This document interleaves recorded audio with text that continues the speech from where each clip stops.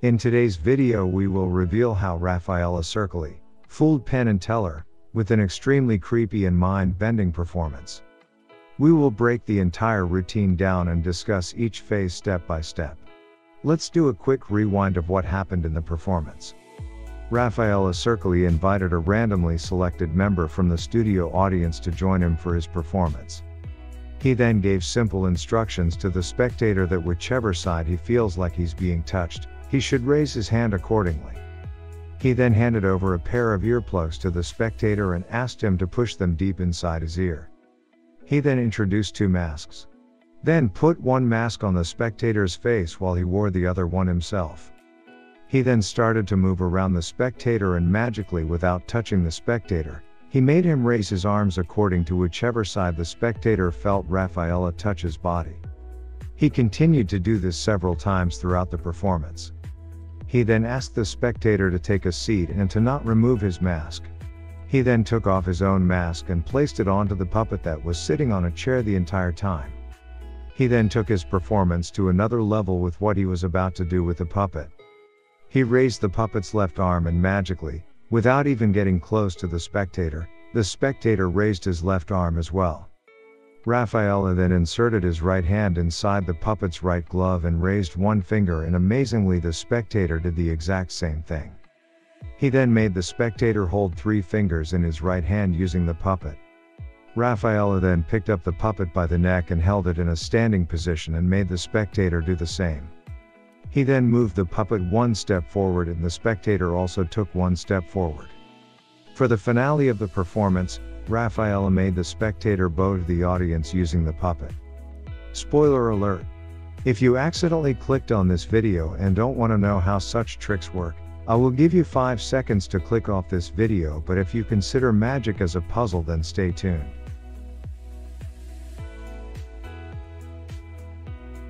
Now without further ado, let's get down to how this trick works. We will break the trick into two phases.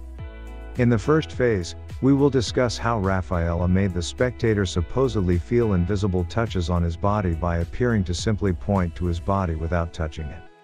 In the second phase of the routine we will discuss how Raffaele was able to control the spectator with the puppet.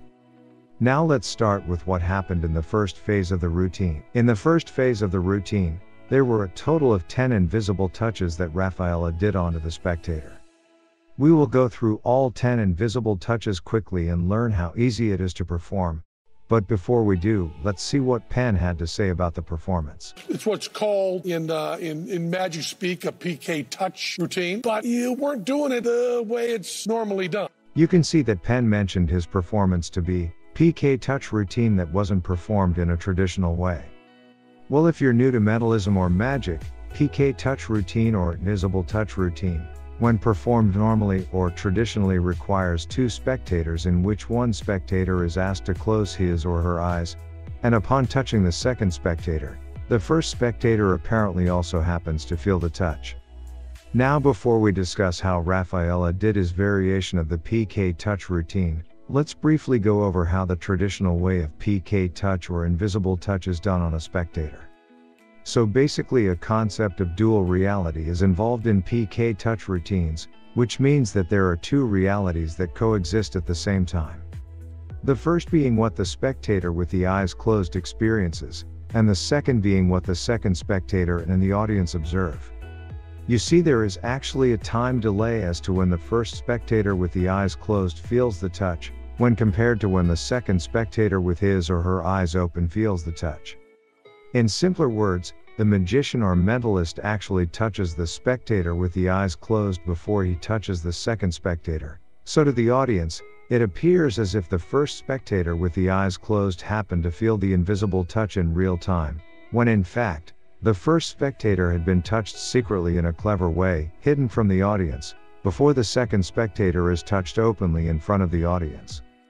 Now that you understand how a traditional PK touch or invisible touch works, you will now easily understand how Raffaele did his variation on the PK touch routine. Let's discuss all 10 of the invisible touches that Raffaele did by quickly pointing out all the clever and sneaky techniques that Raffaele used, that were hidden in plain sight from the audience. In the first invisible touch, he made the spectator's left arm rise up. Well, if you slow down the video and look close enough, he actually lightly touches the back of his index and middle finger against the spectator's bare arm and then to misdirect the audience, he gestures with his right hand upwards as if it was his right hand that touched the spectator's body, when in fact, it was the fingers of his left hand that secretly did the work for him. For the second invisible touch, you will notice that this invisible touch is a lot more obvious than the first one. This is because you can clearly see his right hand tap the front of his shirt. Right at this moment, notice the front of the shirt also move. Raffaele then continues to do the fake, misdirecting gesture as if it's his right hand that did the invisible touch on the spectator's body without physically touching him. The third invisible touch was done in a very clever way. This is because he actually used his body as a cover, so basically, when he was moving towards the left side of the spectator, he actually touched the spectator near his elbow right at this moment here, with the back of his index finger and then continued to fake gesture and misdirect the audience as if he had once again magically touched the spectator's knees, when in reality, it had nothing to do with the knees of the spectator. In the fourth PK touch, he did the same method that he used in the second PK touch. For the fifth PK touch, he once again used a clever technique, in which he quickly flipped the back of the spectator's shirt with his index finger, while following the flow of the motion of his arm. Which you can notice very clearly in this slowed down clip. For the sixth PK touch, there was a slight delay in which the spectator raised his arm. This is because Raffaele touched the spectator much lightly.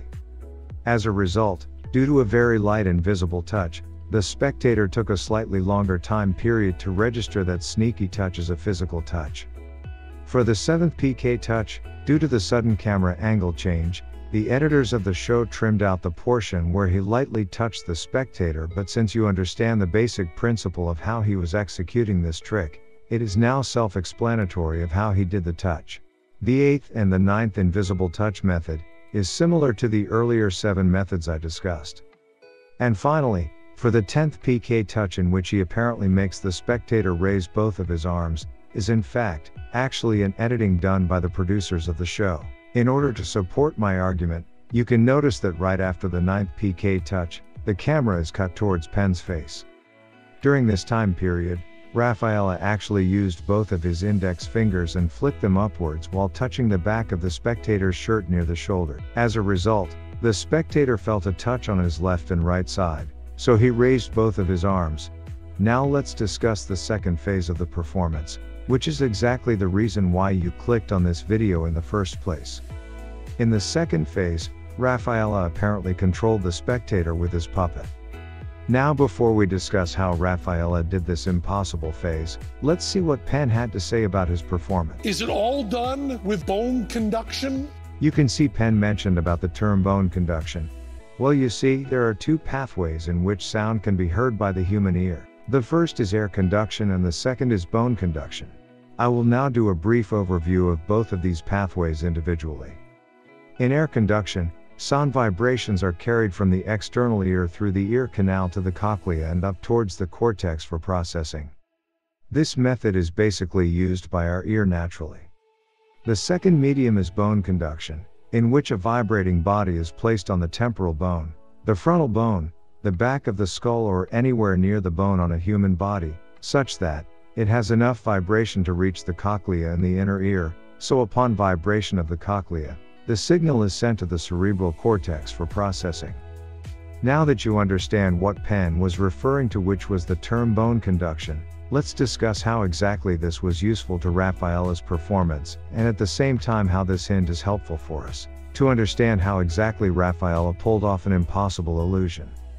If you have made it this far into the video, be sure to hit the like button, it really supports the channel. Also be sure to subscribe, I would really appreciate it, due to the time and effort I put into my videos. If you want to see more and more uploads, please support me on Patreon for a single dollar per month. I would really appreciate it wholeheartedly. Now let's get back to the explanation.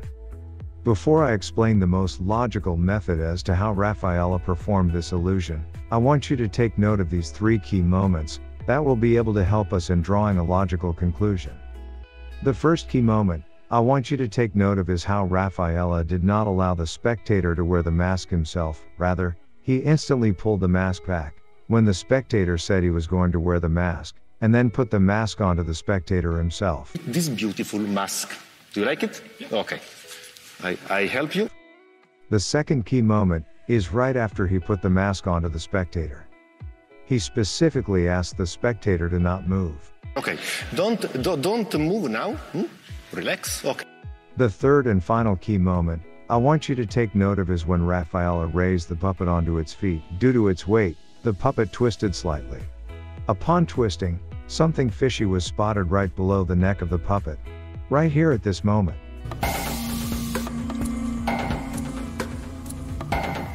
You see, Raffaele actually had attached bone conduction headphones to the elastic of the mask that he put onto the spectator. Since I explained earlier how bone conduction works, you can easily understand the purpose of bone conduction headphones. Bone conduction headphones are headphones that do not need to be inserted into the ear rather can be placed anywhere on the skull. Now you may be wondering how exactly is that possible? Since Teller immediately went to examine the mask right after the performance. Did we examine the mask? Yeah, yeah, for sure. Sure. Yeah, yeah, yeah. And the earplugs too. Well, you see, I pointed out three key moments earlier, out of which, the first two will support my argument as to how he hid the bone conduction headphones. You see, the moment he placed the mask onto the spectator, the bone conduction headphones were attached to the elastic and were positioned right at the center of the back of the spectator's skull.